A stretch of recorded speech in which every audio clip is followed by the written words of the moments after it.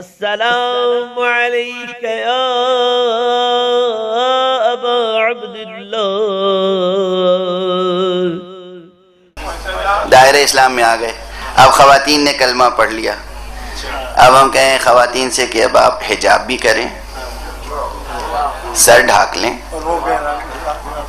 बाल खुले हुए नहीं होने चाहिए चेहरा खुला रहे वही आइडियल हिजाब है एक खातून मोमिना और मुस्लिमा का, जो हज में होता है। एहराम में क्या लिबास होता है? आप अपने दिल को वैसा ही रखें जैसा सहन हरम में रहता है।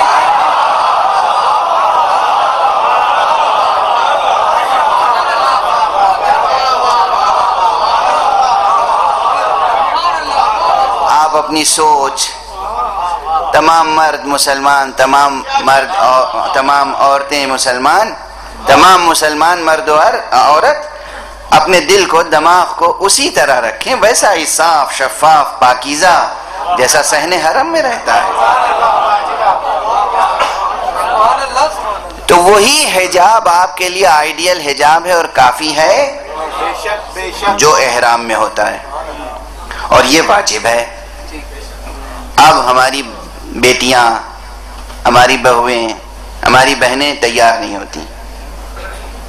साहब और कुछ ज़्यादा कहिए तो कहिए, लायक रहा फिर दिन।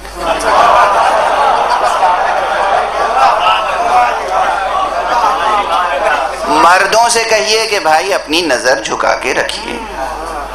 दोनों पर हिजाब का हुक्म है।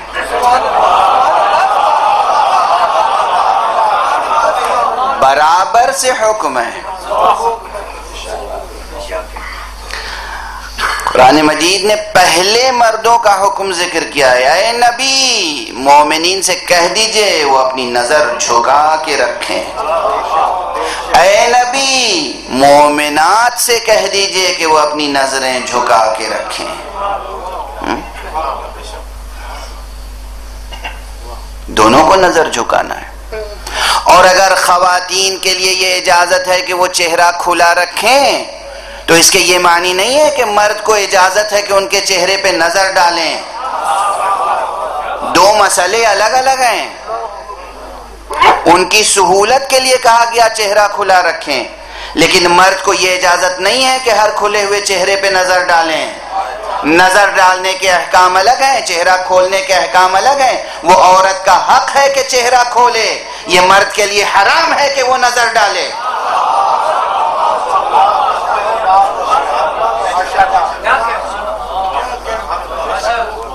ये नहीं कि जो भी सामने खातून आ गई, आपके लिए इजाज़त है कि आप उनके चेहरे पे नज़र डालें।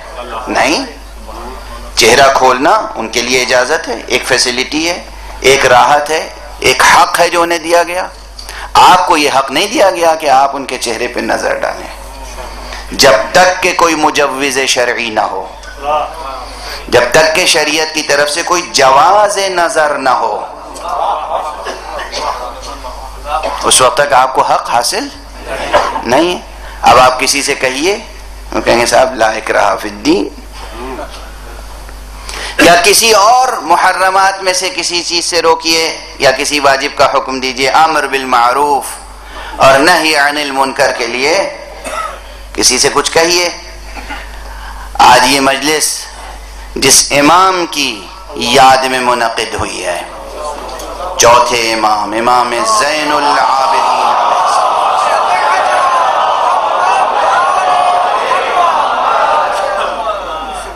हज़रत का एक इरशाद है। फरमाते हैं अतारकुल अम्र बिल मारूफ अनिल मुनकर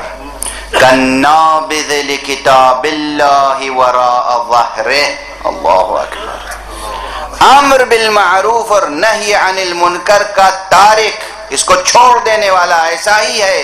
अब मैं इस जुमले की शिद्दत को अपनी जबान में बयान करने की कोशिश कर रहा हूँ। ऐसा ही है जैसे कोई किताब खुदा को अपनी पुश्त के पीछे डाल दे। जैसे कोई नौजुबिल्ला खाकम बदान किताब खुदा को पामाल कर दे।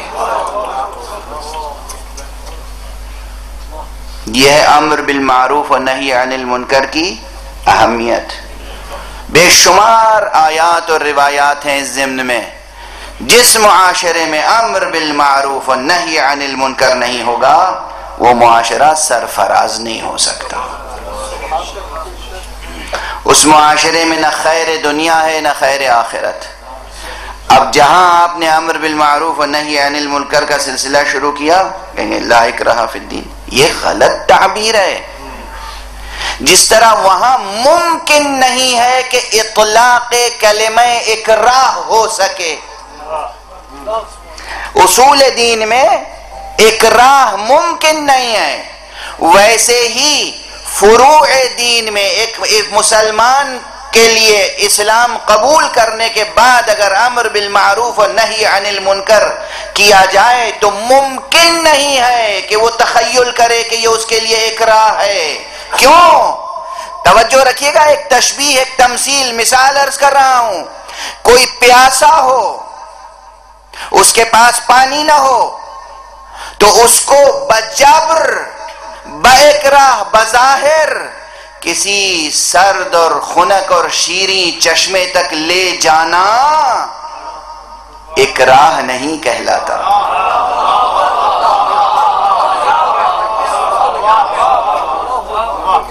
प्यासे को चश्मे तक ले जाना एक राह नहीं है।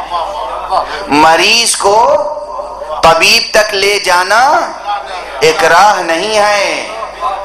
तवज्जो है? ये उसूल, ये फुरू दीन, ये अहकाम, ये नवाही, ये इंसान के लिए उसी तरह वही हैसियत रखते हैं जो एक प्यासे के लिए शीरी पानी। अहकाम है?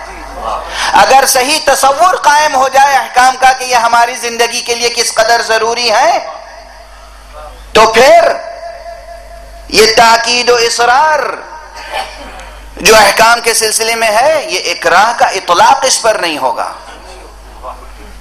जो मानवियत है इकराह में ना, जबर इकराह में, वो मानवियत का इतलाक नहीं हो सकता। तो इसके मानिए ला इकराह मुमकिन नहीं है कि उसूल में आप किसी पर इकराह कर सकें। मुमकिन नहीं है कि कोई शख्स ये तखयल कर ले, ये तस्वुर कर ले कि फुरू में उसके लिए इकराह है। बल्कि ये राहत है, ये हयात है, ये ज़िंदगी है। तवज्जो है। और क्यों? दलील मजीद एतकाद के सिलसिले में ला इकराहा से पहले वाली आयत, पूरी आयतुल कुर्सी, तमाम एतकादात का ज़िक्र करके और कद तबैन रुशदो में नलगाई अमल का नेक रास्ता और बुरा रास्ता वाजे हो चुका है इकराह कैसा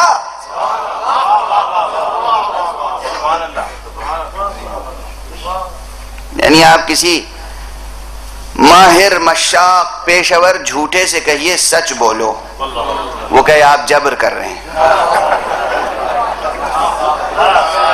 मिसाल याद रखिएगा। दुनिया की कोई अदालत, दुनिया की कोई अदालत किसी को सच बोलने पर ज़बरदस्ती करने की ताबीर जबर से नहीं कर सकती। जज साहब तशीफ फरमाए, जस्टिस साहब तशीफ फरमाए। असलन अदालत में मुमकिन है कि जबर हो। जब गवाहान पेश होते हैं, शाहिद पेश होते हैं, मुलजमीन, मुलजिम पेश होते हैं तो सच उगलवाया जाता है। और कोई नहीं कह सकता कि देखिए ये जुल्म हो रहा है।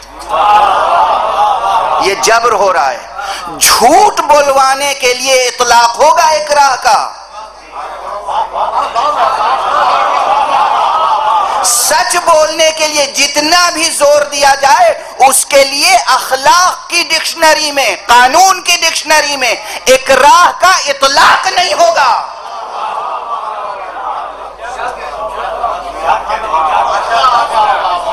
वाजे है? इसलिए कि झूठ बातिल है। दुनिया का कोई ये मैंने वो मिसाल दी है, जो तमाम आलम बशरियत के लिए काफ़ी है। सच बोलना अवलियात फितरिया में से है। फितरियात अवलिया में से है। सच बोलना हक है। सच बोलना अच्छा है। सच बोलना हुस्न है। सच बोलना खैर है। झूठ कबी है। बातिल है। फासिद है। मफसदा है। अगर झूठ कोई किसी से कहा जाए कि तुम ये झूठी गवाही दे दो। बाद में वो उज्र कर सकता है कि साहब, इन्होंने जबरन मुझसे झूठी गवाही दिलवाई। वहाँ जबर का इतलाक होगा। लेकिन अगर कोई सच्ची गवाही दे, कभी उसकी जबान से ये कलिमा मसमू नहीं होगा काबिल समात नहीं होगा कि साहब, जबरन सच बोलवाया गया।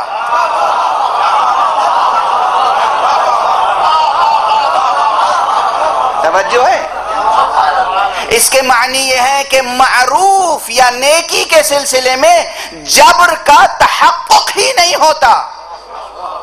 तो ना उसूल दीन में मुमकिन है कोई कहे कि दीन में जबर मुमकिन है?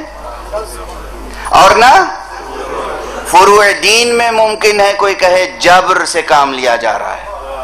हाँ नज्म जब्त को बरकरार रखना है। नज्म जब्त आपकी ज़िंदगी और आपके मुआशरे के लिए मुफीद है, ज़रूरी है, लाजिम है आपकी दुनिया और आपकी आखिरत की भलाई के लिए। लाजिम है। और जब ये बात